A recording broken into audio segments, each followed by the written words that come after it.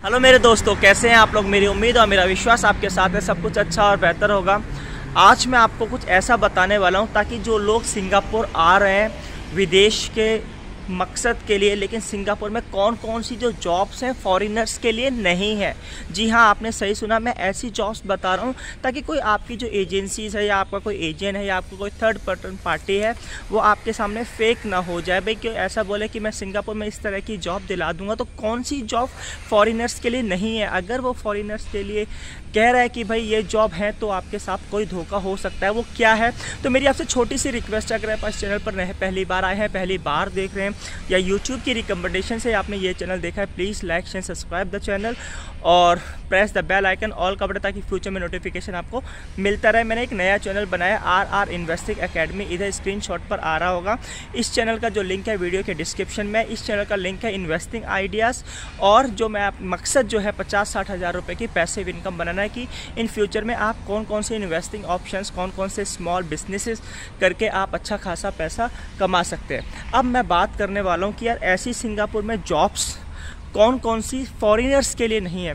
और हाँ मैं एक और कुछ बताने वाला था आपको कि भाई देखो, अगर आप सिंगापुर जाना चाहते हो या मलेशिया जाना चाहते हो या पोलैंड की कुछ कंट्रीज़ और भी यूरोपियन यूनियन में जाना चाहते हो जो वेल डेवलप्ड नहीं है, लेकिन ऑलमोस्ट ओके कंट्रीज़ हैं, जैसे स्लोवाकिया है, पोलैंड है, माल्टा है, क्रोशिया है तो और अगर आप मिडिल ईस्ट में जाना चाहते हो, ओमान, दुबई, कतार तो एजेंसीज़ की डिटेल मेरे चैनल की वीडियोस में है, वहाँ पर आपका काम हो सकता है। उन एजेंसी से आप कॉन्टैक्ट करें। अब बात करते हैं कौन सी जॉब्स नहीं है सिंगापुर में।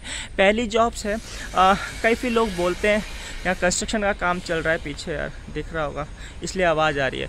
तो जो पहली जॉब है सिक्योरिटी गार्ड अब देखो सिक्योरिटी गार्ड की जो जॉब है इधर, दुबई में और कंट्रीज़ में मैंने देखा है कि भाई होती है फॉरेनर्स के लिए, लेकिन सिक्योरिटी की जॉब इधर फॉरेनर्स के लिए नहीं है, पहली बात। ठीक है तो अगर आपसे कोई पहली बार बोल रहा है कि भाई सिक्योरिटी की जॉब दिला दूँगा तो वो फॉरेनर्स के लिए नहीं है, आपके साथ गलत हो रहा है। दूसरी जॉब क्या है? Personal driver. लोग बोलते हैं कि पर्सनल ड्राइवर के लिए सिंगापुर में वैकेंसीज़ है। भाई, यहाँ पर पर्सनल ड्राइवर नहीं रखे जाते, बहुत कम है। अगर होते हैं उनको लोकल्स को ही जॉब मिलती है। तीसरा जो अपॉर्चुनिटी जैसे बोलते हैं कि दूसरे देश में जाके लाइक माल्टा में, यूरोपियन की कुछ कंट्रीज़ में जाके आप फ़ूड डिलीवरी का काम कर सकते हैं। तो यहाँ पर अगर आपको कोई फ़ूड डिलीवरी फ़ूड डिलीवरी का काम के लिए बोल रहा है तो यहाँ की जो कंपनी है, वो Foodpanda Deliveroo and Grab तीन कंपनीज़ हैं और ये जो कंपनीज़ हैं ओनली सिंगापुर के लिए ही हायर करती हैं। आपको वहाँ दिख भी रही होगी गाड़ी देखो गाड़ी गई है ग्रैब की तो ये पर सिंगापुरियन ही इसमें काम कर सकते हैं।